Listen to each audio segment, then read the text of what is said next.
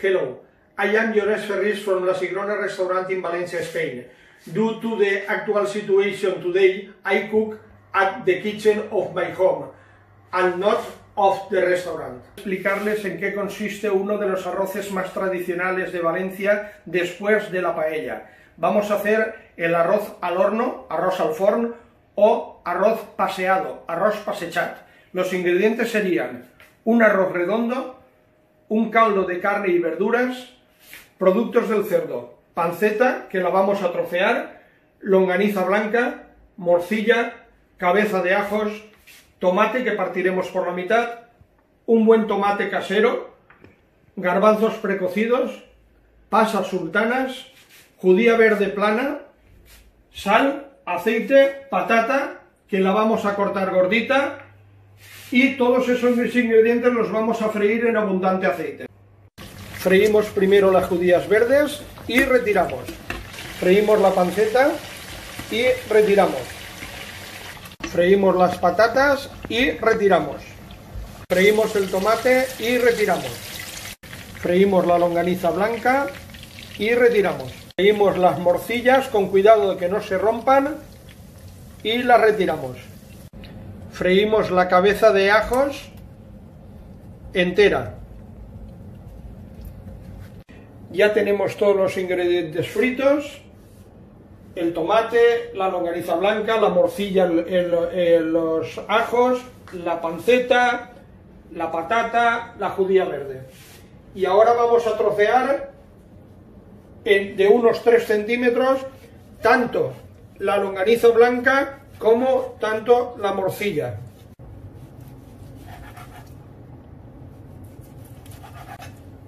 Ya tenemos todos los ingredientes preparados.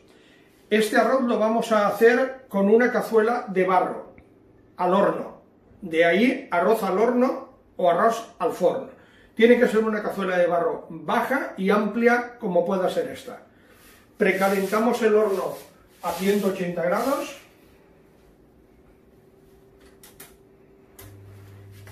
y con el aceite que ya tenemos previamente atemperado vamos a ir añadiendo las tres cucharadas de tomate frito casero.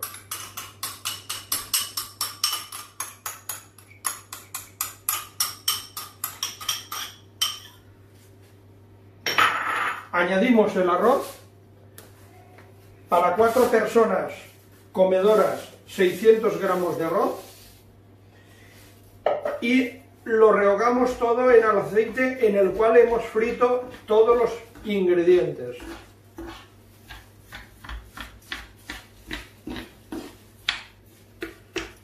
Subimos un poquito el fuego.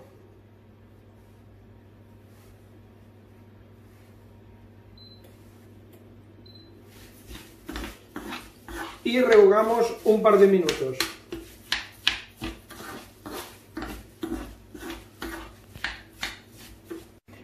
Ya tenemos bien rehogado el arroz con el aceite y con el tomate frito casero. Vamos a añadir un poquito del caldo.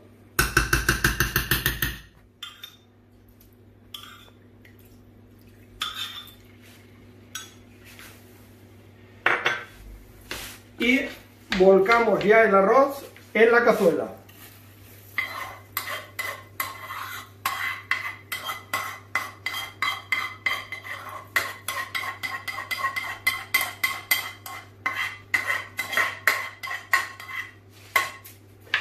Repartimos de manera uniforme todo el arroz por toda la cazuela.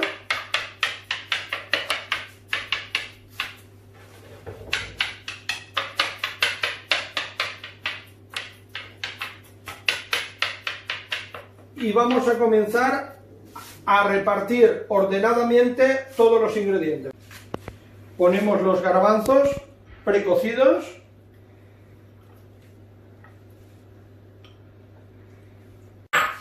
las pasas sultanas.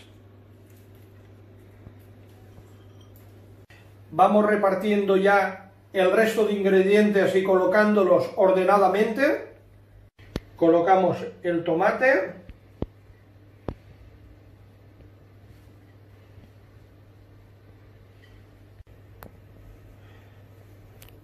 Vamos colocando las patatas.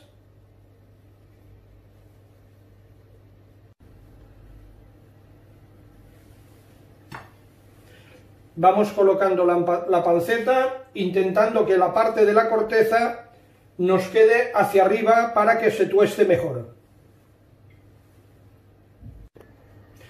Ponemos la cabeza de ajo en el centro y vamos repartiendo donde podamos la longaniza blanca y la morcilla.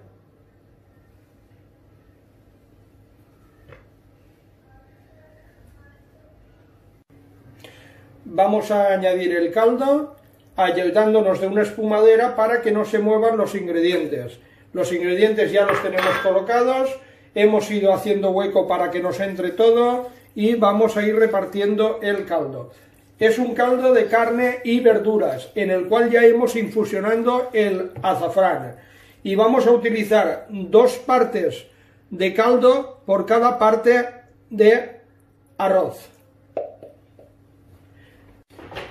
Ya tenemos el horno precalentado a 180 grados y ahora con mucho cuidado de que no se nos caiga el caldo, vamos a poner la cazuela al horno. Vamos a mantener la cazuela entre 45 y 60 minutos. A partir de los 40-45 minutos comprobaremos que esté dorado y llegando ya a los 60 podríamos poner un cuchillo de manera que al salir no nos quede manchado y el arroz estaría preparado.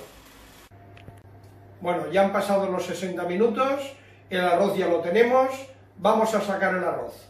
El arroz lo tendríamos que dejar ahora reposar unos 15 minutos y estaría listo para emplatar. Ya hemos dejado el arroz reposar unos 15 minutos y vamos a emplatar.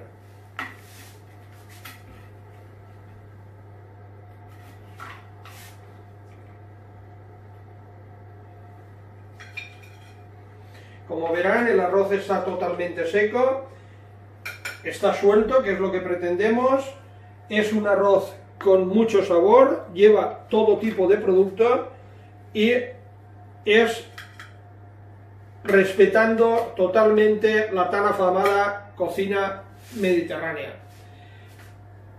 Bueno, espero que les haya gustado, esperamos verles pronto por nuestra casa Esperemos también que esta situación se acabe pronto.